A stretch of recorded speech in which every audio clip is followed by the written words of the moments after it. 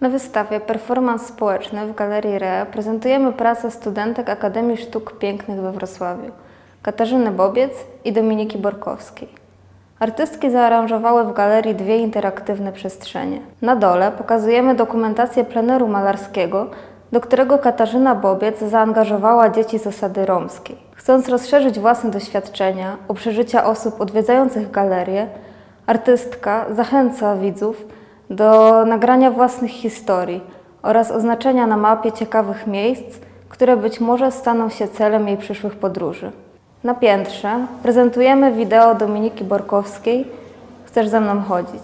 Film oraz opracowane przez artystkę instrukcje mają zachęcić zwiedzających do nawiązania kontaktu z innymi w przestrzeni galerii poprzez rozmowę, gesty oraz korespondencję pisemną.